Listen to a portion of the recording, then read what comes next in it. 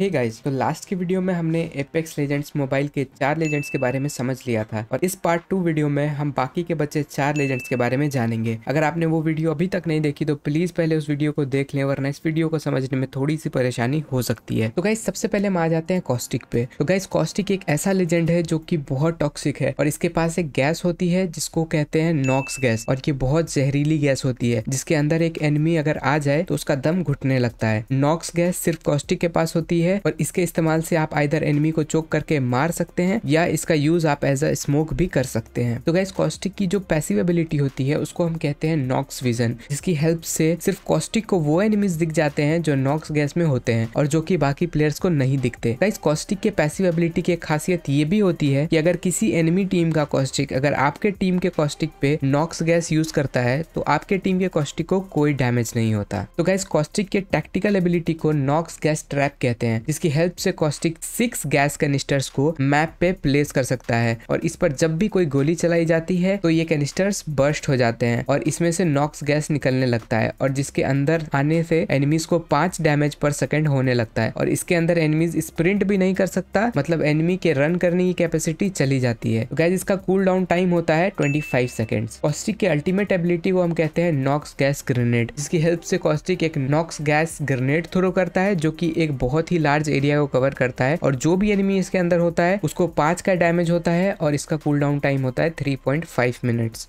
तो गाइस अब हम बात करते हैं ऑक्टेन के बारे में। तो गाइस ऑक्टेन की अगर पैसिव एबिलिटी की बात करें तो इसकी पैसिव एबिलिटी को हम कहते हैं स्विफ्ट स्विफ्टमेंट जिसकी हेल्प से ऑक्टेन जब भी डैमेज नहीं ले रहा होता है तो ये खुद ब खुद हील हो जाता है और इसकी हीलिंग की स्पीड होती है 1.5 पॉइंट पर सेकेंड गाइज़ ऑक्टेन की टैक्टिकल एबिलिटी को हम कहते हैं स्टिम जिसकी हेल्प से ऑक्टेन के चलने की स्पीड थर्टी परसेंट बढ़ जाती है और रन करने की स्पीड फोर्टी परसेंट बढ़ जाती है। लेकिन इसके यूज़ से ऑक्टेन को ट्वेल्व एच लूज करनी पड़ती है। मतलब ऑक्टेन जब भी अपनी स्टीम एबिलिटी को यूज़ करता है तो उसकी 12 एचपी चली जाती है। इसका कूल डाउन टाइम होता है दो सेकेंड गाइस ऑक्टेन की अल्टीमेट एबिलिटी को हम कहते हैं लॉन्च पैड जिसकी हेल्प से ऑक्टेन एक जंप पैड डिप्लॉय कर सकता है और अगर कोई भी उस जंप पैड पर पैर रखता है तो वो बहुत तेज़ी से हवा में उछल जाता है और दोबारा जंप बटन दबाने पे प्लेयर दोबारा से एक बार जंप कर सकता है, जिसको हम डबल जंप कहते हैं। इसका कूल डाउन टाइम होता है एक मिनट तो गाइज़ अब हम लोग बात करते हैं वॉटसन के बारे में। गाइज़ वॉटसन के पैसिव एबिलिटी को हम कहते हैं स्पार्क ऑफ़ जीनियस जिसकी हेल्प से वॉटसन के शील्ड ऑटोमेटिकली चार्ज हो जाते हैं। अगर वॉटसन को सिक्स सेकेंड्स के लिए कोई डैमेज ना हो तो। वॉटसन के टैक्टिकल एबिलिटी को हम कहते हैं पेरीमीटर सिक्योरिटी जिसकी हेल्प से वॉटसन एक इलेक्ट्रीफाइड फेंस बना सकती है, जिसके at a time up to twelve notes active हो सकते हैं। इस फेंस की खासियत ये होती है कि अगर कोई भी एनिमी इसे क्रॉस करता है तो वॉटसन को पता चल जाता है प्लस एनिमी को फिफ्टीन का डैमेज पड़ता है और उसका मूवमेंट स्पीड भी एक से दो सेकंड के लिए स्लो हो जाता है। इसका कूल डाउन टाइम होता है थर्टी सेकंड तो गाइज़ वॉटसन की अल्टीमेट एबिलिटी के बारे में बात करें तो इसके अल्टीमेट एबिलिटी को कहते हैं इंटरसेप्शन पायलॉन जिसकी हेल्प से वॉटसन एक पायलॉन डिप्लॉय कर देती है, जो की सभी इनकमिंग डेंजर जैसे की कोई भी ग्रेनेड या बैंगलोर के एयर स्ट्राइक या जिब्राल्टर के बॉम्ब्स को इसके रेडियस में आने से पहले ये पायलॉन डिस्ट्रॉय कर देता है। और साथ ही साथ इसके रेडियस में आने वाले सभी प्लेयर्स के शील्ड को स्लोली रिचार्ज कर देता है। इसका कूल डाउन टाइम होता है तीन मिनट तो गाइज़ अब आ जाते हैं एपेक्स के सबसे लास्ट लेजेंड पे, जिसका नाम है जिब्राल्टर जिब्राल्टर दिखने में बहुत बड़ा होता है और जब आप गेम खेलोगे तो ऐसा फील होगा जैसे ये बहुत स्लो रन कर रहा है, लेकिन ऐसा नहीं होता है। इसकी स्पीड भी बाकी लेजेंड्स के बराबर ही होती है। तो गाइज़ जिब्राल्टर के पैसिव एबिलिटी के बारे में बात करें। इसके पैसिव एबिलिटी को हम गन शील्ड कहते हैं। जिसकी हेल्प से जिब्राल्टर जब भी एम करता है, इसके अपर बॉडी को प्रोटेक्ट करने के लिए एक शील्ड अपियर हो जाती है, जिसकी 50 एचपी होती है। और एक बार ये शील्ड डिस्ट्रॉय होने के बाद 9 सेकंड्स के बाद ये शील्ड वापस आ जाती है। गाइस जिब्राल्टर के टेक्टिकल एबिलिटी को हम डोम ऑफ़ प्रोटेक्शन कहते हैं, जिसकी हेल्प से जिब्राल्टर 12 सेकंड्स के लिए एक डोम के शेप का सील डिप्लॉय कर देता है, जो कि कोई भी बुलेट या ग्रेनेड को ना तो अंदर आने देता है और ना ही अंदर से बाहर जाने देता है। और इस डोम के अंदर जिब्राल्टर किसी भी नॉक टीममेट को 25 परसेंट फास्ट रिवाइव कर सकता है। इसका कूल डाउन टाइम होता है थर्टी सेकेंड्स तो जिब्राल्टर के अल्टीमेट एबिलिटी को हम कहते हैं डिफेंसिव बम्बार्डमेंट इसकी हेल्प से जिब्राल्टर एक स्मोक ग्रेनेड फेंक कर छह सेकंड का एयर स्ट्राइक बुला सकता है, जिसमें